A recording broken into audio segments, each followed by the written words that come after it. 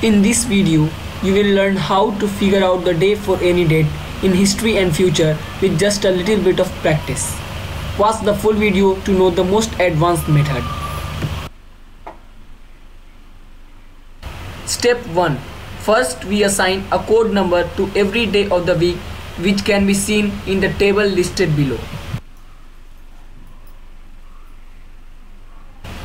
Step 2. We also need a code for every month of the year which are listed below in the tables. Note that in a leap year, the code of January and February are reduced by 1. Step 3. We can calculate the year code for any year between 2000 and 2099.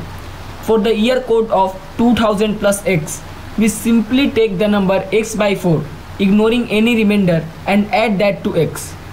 The year code can be obtained by subtracting the biggest multiple of 7 less than the sum of x and x by 4.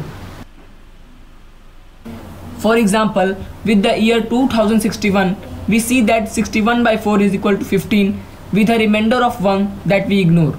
Thus 2061 has a year code of 61 plus 15 is equal to 76. Since we can subtract the highest multiple of 7 less than 76, we will use 70. So year code of 2061 is 76 minus 70 is equal to 6. Now let us calculate the day on December 3, 2006. So we will compute month code plus date plus year code equal to 4 plus 3 plus 0 equal to 7. Hence the day is Sunday. But for dates in the 1900s, 1800s and 1700s, we add 1, 3 and 5 to the year code respectively. Now some important facts. Point 1. In the Gregorian calendar, a leap year occurs every 4 years with the exception of years which are divisible by 100. Although there is an exception to the exception. Years divisible by 400 are leap years.